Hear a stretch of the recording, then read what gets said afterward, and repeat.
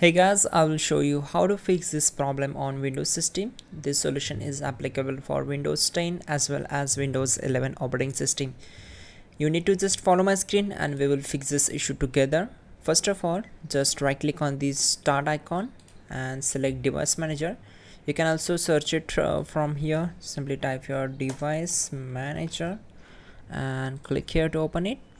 Once we are here, we need to expand the audio inputs and outputs uh, and sound video and game controllers. First of all we will uh, right click on this particular device select properties go to drivers tab and click on update drivers. Then select the first option and the base drivers will be installed automatically. Again do the same process for these two one also.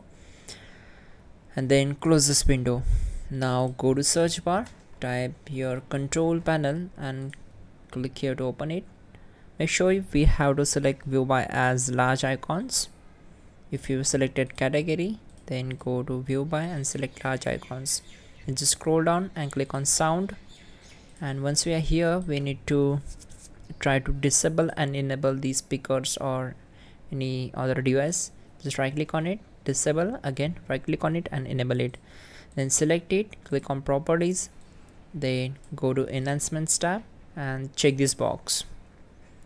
Again go to levels and make sure keep this up to the 100% then click on apply and then ok. Now just restart the system and you can also check out our pin command.